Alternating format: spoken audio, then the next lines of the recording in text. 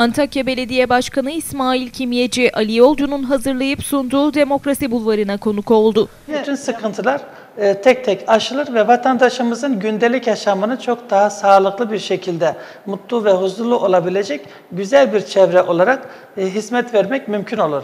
Programda Hatay ve Antakya'ya dair birçok konu konuşuldu. Başkan Kimyeci'nin ilk gündem maddesi hükümetin 2018 yatırım programına giren Amanos Tüneli projesiydi.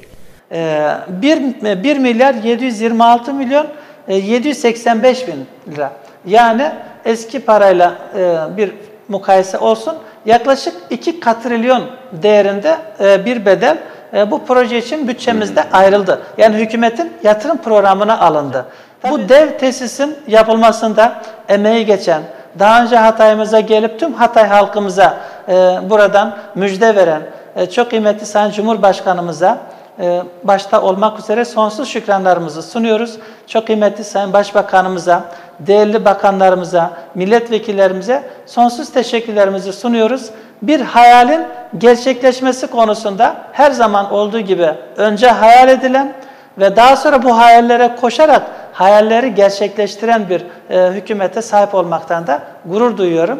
Demokrasi Bulvarı'nda Hatay Kültür Varlıklarını Koruma Bölge Kurulu'ndan Uzun Çarşı Sokak Sağlıklaştırma, Restorasyon ve Renovasyon projesine kadar birçok konu konuşuldu. E, mühendis arkadaşlarımızla, mimarlarımızla e, görüştük, değerli vekilimizle, Kültür Bakan Yardımcımızla istişare ettik ve e, bu konuda sokak e, sağlıklaştırma ve cephe iyileştirme projesi kapsamında e, bir çalışma yaptık. Bu çalışmalarımızda e, tabii çok beğenildi. Başta vekillerimiz, Kültür Bakan Yardımcımızın destekleriyle hükümetimiz bunu yatırım programına aldı.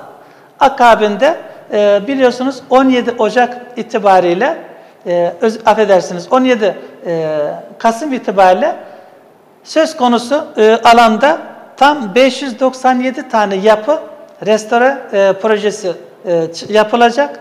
Akabinde e, uzun çarşımızda başta olmak üzere e, proje alanımızda 13 tane, e, 15 tane e, sokak, 3 tane cadde, bir de kuyumcu çarşısı olmak üzere hepsi cephe iyileştirme ve sağlıklaştırma projesi kapsamında, ihale kapsamında yapılıyor. Kentsel dönüşümde gelinen son noktayı da değerlendirdi Başkan Kimyeci. Biz an itibariyle %51,5 anlaşma oranına ulaştık.